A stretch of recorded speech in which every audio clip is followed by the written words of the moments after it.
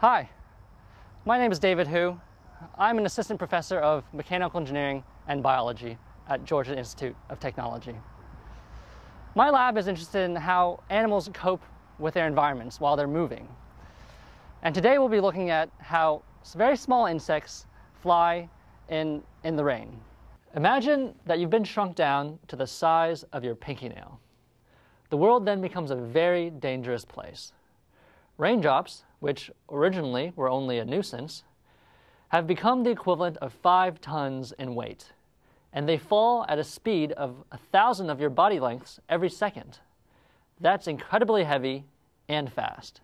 Although this scenario sounds like science fiction, this is in fact a daily reality for the world's smallest insects. Mosquitoes thrive in rainy and humid conditions, and they've been around for 200 million years, and in that time have evolved a variety of mechanisms to deal with such conditions like wind gusts and the rain. By studying insects, we can gain insight into the simple question of how to fly in the great outdoors. It's a difficult problem. There are wind, gust, rain, and this is especially important for technology.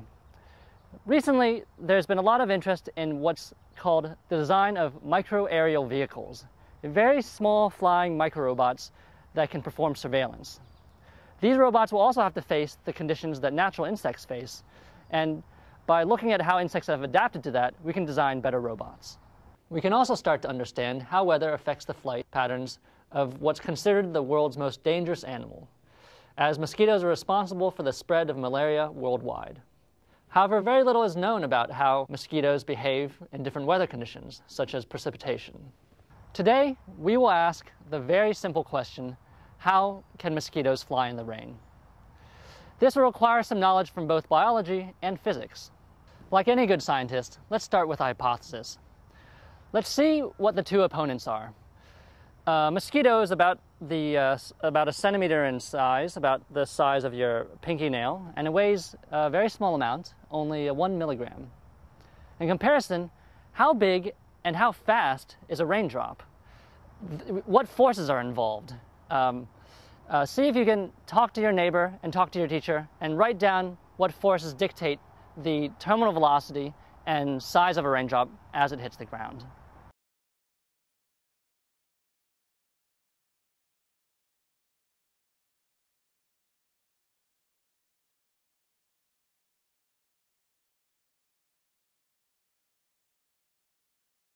Thanks for working that out with your classmates. We saw that raindrops like this one, raindrops fall because of gravity. The influence of aerodynamic drag creates a high pressure in front of the drop. This pressure acts to deform the drop, like this. But surface tension acts to keep the drop spherical. The confluence of these three forces dictates the drop size and speed as it falls to the ground. Raindrops are about 2 to 5 millimeters in diameter and about 5 to 10 meters per second. That means they're very dangerous from the perspective of a mosquito. They're 2 to 50 times heavier than mosquito, and they fall more than 10 times faster than the mosquito can fly. How can a mosquito survive this? The first thing we'll do in this next session is look at how often the impacts occur.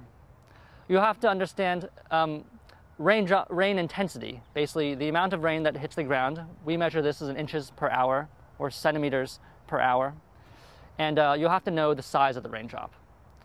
Why don't you try to calculate that, and we'll see you in a few minutes.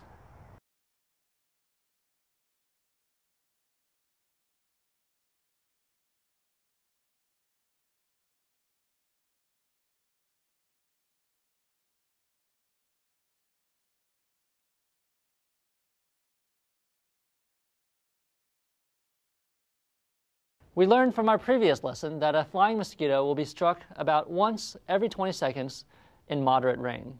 Even if they were to hastily seek out shelter, they would still be struck on their way out. How do mosquitoes survive raindrop impacts?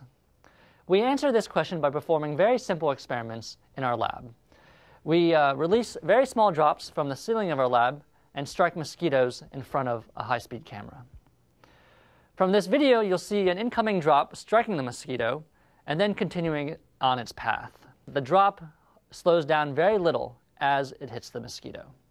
So in the video you just saw, we saw a mosquito um, receiving a glancing blow.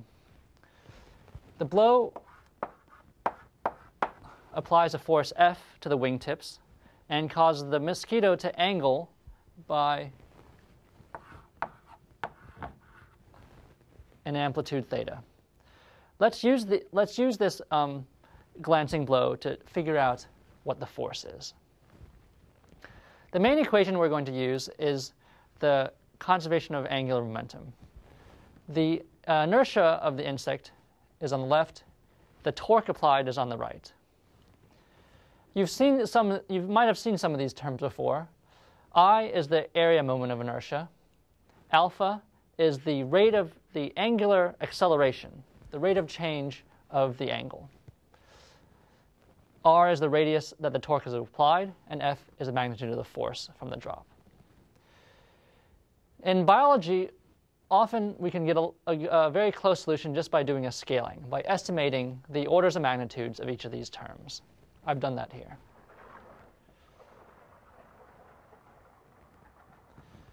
Let's begin with the, uh, the uh, area moment of inertia. That's the mass of the insect times the characteristic radius of the body um, to the power 2 and uh, times 1 half. Mosquito weighs 1 milligram. I'm going to be using um, centimeter, gram, second units. So everything, all the lengths are going to be centimeters, all the masses are going to be in grams, and all the times are going to be in seconds. Uh, 1 milligram is 10 negative 3 grams. Um, the radius is about 1 millimeter. That's here. And so this value, very small value, is the area moment of inertia. The rate of change of the angle of the insect is given by here. Here's the angular acceleration. Theta from the video was 45 degrees, which is pi over 4. As you saw from the graph, the duration of the impact was 10 to the negative 2 seconds. This gives us a value for the very high rate of change of the insect. Remember, this was a high-speed video, so that's why this value is so high. Now, we've de we determined most of these values. Let's plug that in to determine what f is. That's shown here. Um, by uh, plugging these values in into this equation and substituting a value of 1 millimeter for um, the position of the drop with respect to the center of mass, we find that the force applied on the insect is 1 dyne. To remind you, this unit is the unit of force in centimeter grams um, per second squared in CGS units.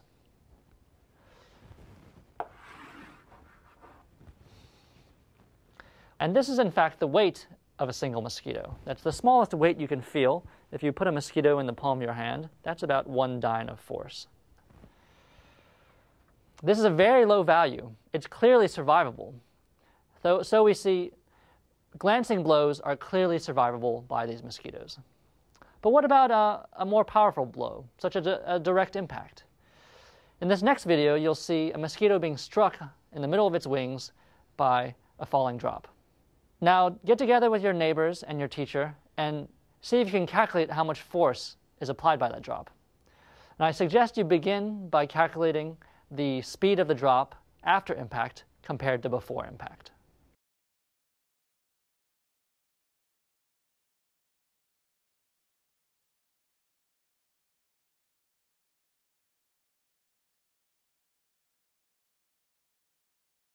You've just seen videos of a raindrop striking a mosquito and a raindrop striking a mosquito mimic, which was the same weight as the mosquito. And you saw very similar behavior, that the two joined together after impact. Let's try to figure out what the final speed of this combined mosquito drop um, uh, is. We'll, we'll begin by characterizing the system by the mass m1 of the drop its speed u1, and it strikes a mosquito of mass m2. After this impact, we have a combined mass of m1 plus m2 and a new velocity, which we'll denote by u prime. In the graph you're, looking at, we've changed the masses of the mimics and the cha ma changed the masses of the drops, and we plotted the final speed u prime non-dimensionalized by u1 versus different raindrop speeds, m1, non-dimensionalized by the mass of the mosquito. You see the trend is very regular among these data points. We can calculate exactly what the trend should be. You see this graph has a very um, systematic trend. And the reason for that is the conservation of momentum. The initial momentum of the system is characterized by the momentum of the raindrop, m1 times u1. The momentum of the system at its end state is the combined mass of the drop come mosquito and its final velocity.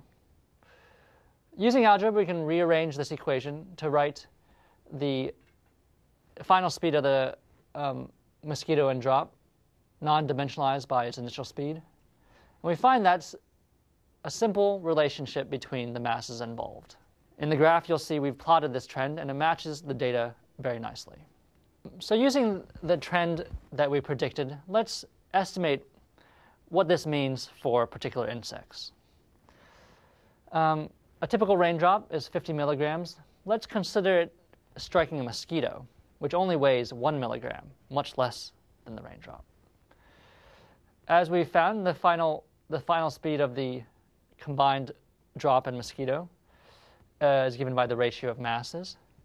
And that's 98% of the initial velocity. That means the final raindrop has only lost 2% of its speed, a negligible amount. It's like it didn't even hit the mosquito. We can see a very different trend if we look at heavier flying insects. Let's consider dragonflies. A dragonfly is a thousand times heavier than a mosquito, one gram. That means, by the conservation of momentum, that the final velocity 50 uh, milligrams over 1,050 milligrams is only 2% of the initial velocity. So when a raindrop hits a dragonfly, it loses 98% of its momentum, or almost all of it, and it splashes. So we can see, depending on the insect at hand, the amount of momentum lost depends very strictly on how heavy the insect is. We just figure out what the differences in the impact of two very um, different insects. We looked at the very lightweight mosquitoes of only one milligram and the much heavier dragonflies on the order of grams.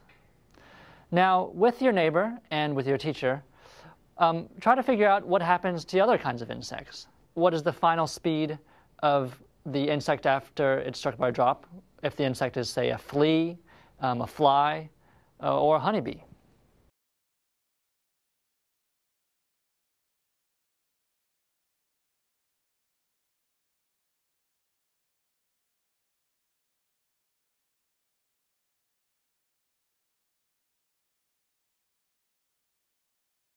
So you've just um, calculated the final um, impact speeds of various insects.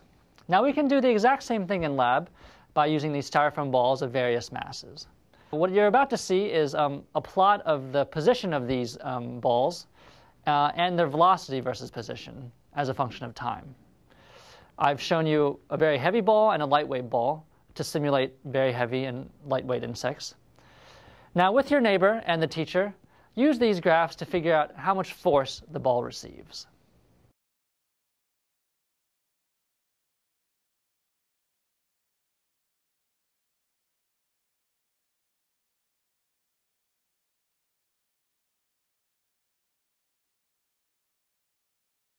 Welcome back. You've just uh, calculated the amount of accelerations. Now, I like to talk about acceleration in terms of um, gravities how many times Earth's gravity. And if you convert your numbers to um, uh, number of Earth's gravities, you'll find the two styrofoam balls received 60 and 90 gravities of Earth's acceleration. That's 60 and, or 90 times the gravity that we would feel on Earth is felt by these balls in the instant of impact.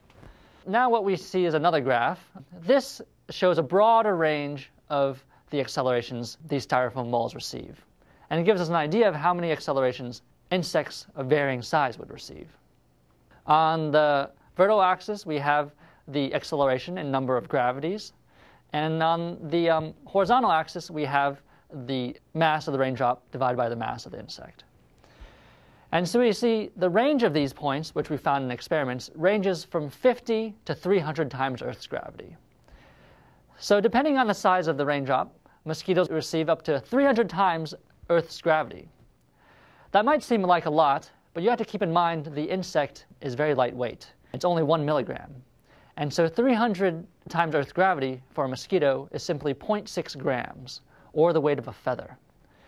That means every time an insect, mosquito is being struck by these drops, it receives just the weight of a single feather sitting on top of it.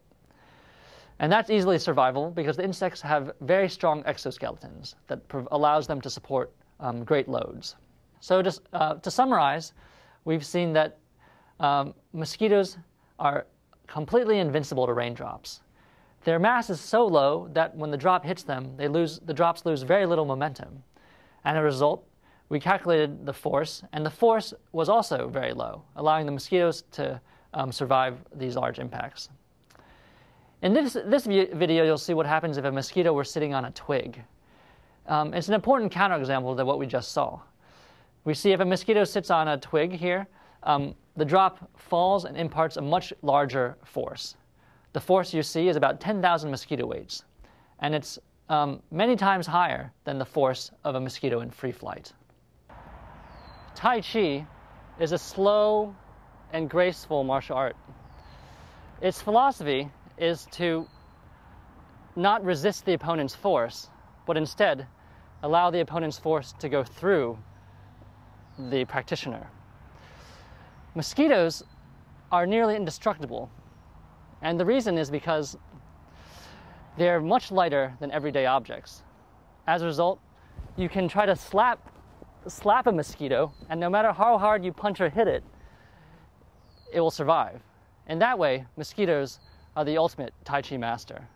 The only way to truly kill mosquitoes is either to hit them with a car or pin them between two surfaces like this. Only by doing so can you generate the 10,000 mosquito body weights necessary to kill them. In fact, as we saw, raindrops apply one tenth that force, and they're still able to easily survive and fly away. Thank you for spending this time with me. Mosquitoes are 200 million years old, yet the research and the activities you did today represent new work that was just published in 2012. You can do these kinds of things yourself. Just remember to look at the world around you and keep on asking questions. And don't forget, even in this day of computers, rough back of the envelope calculations and approximations still remain very useful. If you want to learn more, feel free to email me or check out my website. Thank you.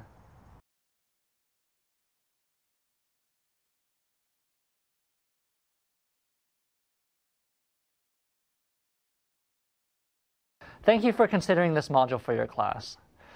Uh, what we've seen today is a mm, a neat example of how some simple Newtonian physics um, can be applied to understanding the world around us. Um, uh, the students will have used uh, conservation laws, conservation of linear momentum, conservation of angular momentum, and they'll use those um, with actual numbers, numbers in biology for how big insects are um, and how, they, how big raindrops are and they'll find they'll discover new things. Um, for example, they they'll have figured out that raindrops um, can apply forces that are survivable by these insects. Um, so by using these things from the classroom and applying it to this new area um, of biology, they'll be able to figure out on their own some new um, principles. One other thing the students will learn is how to use um, real experiments and extract data from that. and that's a useful skill they'll use in their scientific careers. Um, we had examples of high-speed video um, where we've taken data from the video and the students will have to think about what this data means and be able to calculate things based on this data. In order to do these things, the students will have to have a few prerequisites. Um, they'll have to take in high school physics, um, have an idea about what force and momentum are, know their units, um, have some facility with um, uh, small and large numbers, be able to use scientific notation. A lot of the numbers we have are quite small, um, so they'll need to uh, be able to um, write those easily. Uh, the other prerequisite that they'll all have is an experience um, um, with the outside world. They'll have to know raindrops are so big, uh, mosquitoes are so big, and you have some physical intuition. Um, there's no calculus involved in this video, so the students will should be able to have everything that they need um, from high school physics, um, um, and a little bit of knowledge of biology. I have a few suggestions for activities to do between the breaks. Some of the um, questions I've asked are quite open-ended. So, um, for example, um, students can answer these by doing their own experiments. Um, someone can easily bring in a ball. we can, you can have balls being struck together and measure their initial and final velocities. sometimes having a visual aid such as, such as this is important. This is the Georgia Tech mascot here, Buzz. but being able to, we have this activity where um, we estimate the um, number of drops that are applied to the insect. Um, as you'll see from the text file that I provide, that involves knowing the cross-sectional area of the insect um, and uh, having knowing this, the mass of a drop, and then calculating how many of these drops fall into this space in order to achieve the rain intensity um, that you've given them.